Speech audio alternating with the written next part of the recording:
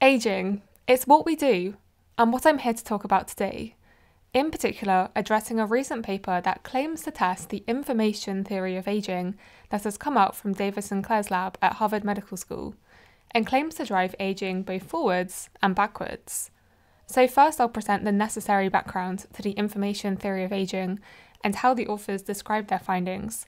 Then, we'll look at the data to see to what extent the data supports their viewpoint, and then we'll take a look at some other opinions and then I'll say what I think and how I would test the information theory. Such fun! Such fun! Wait for it! Such fun! There it goes! Such fun indeed. Alright. So, the first thing we need to address is this information theory of aging. If we break it apart, the main question you're probably asking is well, what information? The classical view of information storage within a cell is pinned to our genome, DNA, that contains all our genetic information, 3 billion base pairs of it. DNA being stable, easily accessed for reading the information, and being used as a convenient copying method of semi conservative replication means that our genetic information is by and large preserved as we go from a fertilized egg to a grown adult. But while our cells have the same DNA, our cells are different. That comes down to what genes are being expressed, by how much, and at what time they are expressed. What governs this gene expression control is currently thought to be epigenetic marks, heritable yet modifiable marks found in either DNA itself or in the proteins that compact DNA. Together, these proteins and DNA is referred to as chromatin. Take note as I'll uh, mention this later. And so, one analogy that David uses in his book Lifespan to describe these epigenetic marks is that of a DVD. Yes, I still know what they are whereby DNA is likely the hardware, the information stored in the DVD, while the surface represents the epigenetic information. The disk can stay intact, but the information can get harder to read and get perturbed as the surface of the disk gets grubby or scratched. In short, then, David's information theory of aging is that there seems to be a loss of this epigenetic information during aging that could be reversed, as in you can clean your DVD. The consequence of this loss eh, with regarding regarding a cell is that gene expression and other cellular processes like DNA repair become faulty, and it causes cells to behave aberrantly and lose their identity. Now, David is not the only to propose that there is a connection between epigenetic changes and aging. In fact, epigenetic alterations is one of the hallmarks of aging, and changes in DNA methylation are being used to build so-called DNA methylation slash aging slash epigenetic slash biological aging clocks, which I've discussed many times before. But are these epigenetic changes just a consequence of aging or a natural cause? Well, David's information theory of aging goes a step further and extends upon the simple scratching of a DVD analogy and suggests that these changes are due to the cellular response to DNA damage.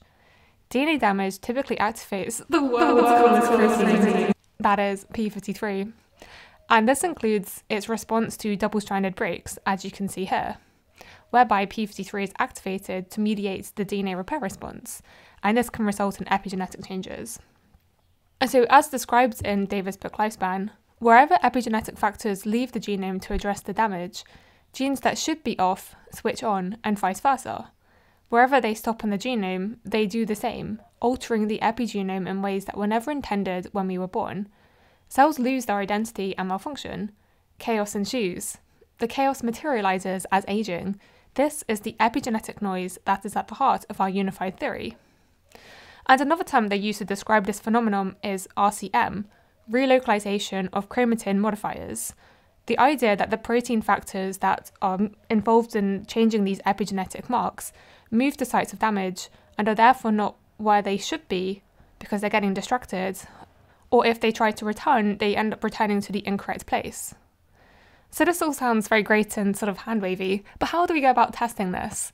Well, you would want to see if you can find a way to advance aging by increasing the rate of these changes in epigenetic marks and then also show that you can slow down or reverse aging by restoring slash maintaining slash preserving slash conserving slash prolonging slash I'll stop reading the thesaurus the epigenetic information. So how to do this? Well, the first appreciation of this theory, as David describes in his book, is that if the information theory is correct, that aging is caused by overworked epigenetic signalers responding to cellular insult and damage, it doesn't matter where the damage occurs. So you need to induce some sort of damage, and this brings us back to this recent paper where they describe the creation of a mouse strain that they call ICE mice. ICE here standing for inducible changes to the epigenome. Now, this point is really important. They wanted to make changes to the epigenome by causing double stranded breaks, but double stranded breaks can result in DNA mutations, another theory of aging, with a lot of evidence behind it. So they claim to have found a method that induces double strand breaks that get repaired, causing changes to the epigenome, but the DNA sequence remains the same.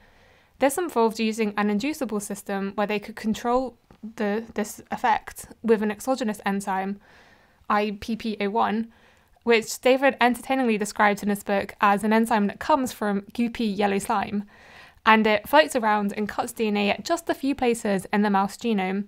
The cell has no problem pasting the DNA strands back together, leaving no mutations, which is exactly what we were looking for to engage the survival circuit and distract the sirtuins. Sirtuins are a family of proteins, some of which are involved in epigenetic marks, but that's as much as I'll talk about them today.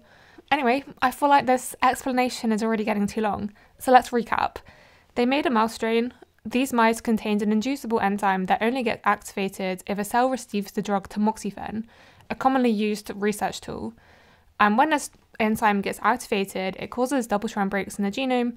The cell accordingly fixes the damage, and in response to this, it could change the epigenetic marks slash distract the epigenetic factors from their usual roles, along with the information theory of aging slash relocalization of chromatin modifiers. So, what happened? Well, I first learnt about their results back in 20, mm, 2019 when I read Davis' book, where it says the mice might have died, they might have grown tumours, or they might have been perfectly fine, no worse off than if they received a dental x ray. Nobody had done this before in a mouse, so we didn't know. But if our hypothesis and epigenetic instability and aging was correct, tamoxifen, remember this is activating this enzyme, would work like the potion that Fred and George Weasley used to age themselves in Harry Potter and the Goblet of Fire. And it worked. Like wizardry, it did. And like one of my favourite scenes from Harry Potter, as you can see in these images, the mice that received tamoxifen for three weeks in four to six month old mice do look much older and performed worse in memory tasks. At 10 months post treatment, these ice mice exhibited classic features of old age, including reduced body weight and fat mass, independent of food intake, and they had a lower respiratory rate during the day and decreased motion in the dark phase. But firstly, how did this treatment affect the cells? Well, firstly, not all of the cells of the mouse got damaged. I think that's important to point out, and that's just a limitation of the method that they used to activate the enzyme. So it's not clear how many of the cells received this damage response, but they've estimated that it was between 60 to 70% of cells within the muscle, liver, hippocampus, and cortex, the latter two just parts of the brain.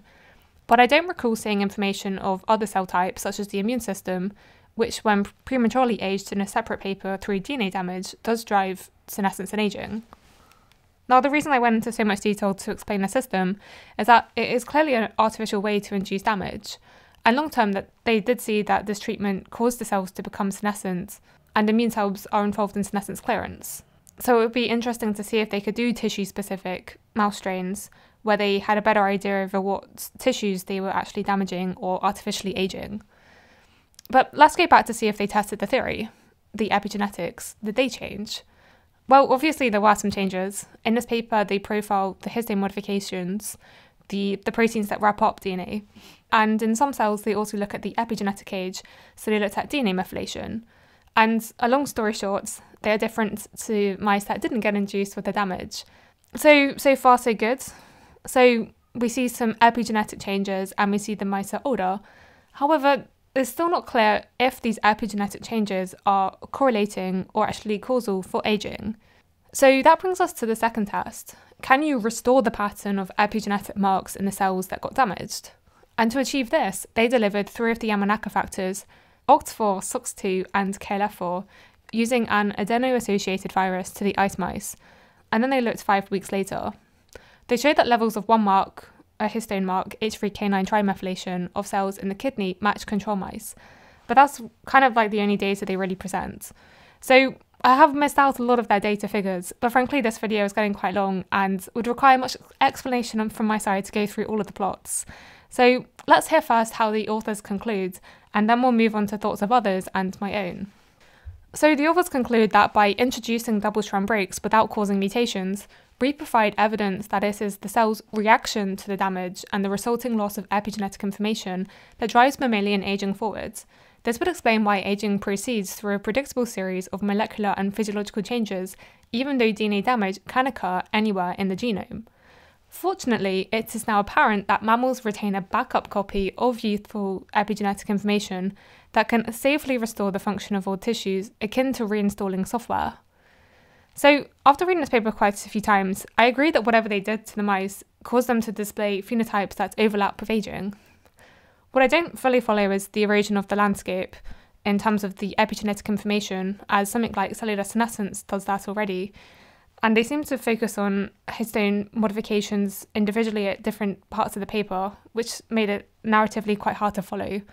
But that isn't their main conclusion, of course. They also did this Yamanaka uh, rejuvenation later on in the paper, but I don't think they provide much data regarding that aspect they didn't look at all the tissues and they didn't do any lifespan studies, which would have been the kind of obvious thing to do if they were able to both prematurely age and also rejuvenate the mice. But the authors are also aware of some of their limitations, and they do say as well that they didn't determine which chromatin factors are relocalized, nor did we study chromatin contacts in vivo. That is to say, this RCM relocalization of chromatin modifiers, part of their hypothesis, wasn't really tested or examined. So I don't think their data fully supports their overall claims of restoration of the epigenetic landscape information theory of aging, but I don't think it disproves it. If anything, I just thought it raised more questions. And this paper also did cause quite a stir over on Twitter. But I think this quote by Jean Vey says it best. The jump that now aging is a program that can be wound backwards isn't justified by their research. But ultimately, you know, being the interested an informative researcher that I am, the, the key question is well, if this method that they developed doesn't test this theory, how would we test it? Well, I did spend some time thinking about it, and the only thing I could think of was to use CRISPR activation and inactivation methods for precise epigenetic editing, because here you can modify the epigenetic marks in precise locations of the genome. I mean, this wouldn't be trivial to set up, and um, good luck, guys. I don't really know how you would do it um, or where you would target it but at least you would have a better understanding of what the cell's initial response would be, and there wouldn't be any double strand breaks. And so, yeah. but the best part is, I have made a video on this tool before, so you can learn about it here. And with that, I hope you've learned something. Thank you to my Patreon supporters, and thank you for listening. Don't say such fun. Well, if it annoys you that much, no, I won't. Such fun. Such fun! Oh, a double.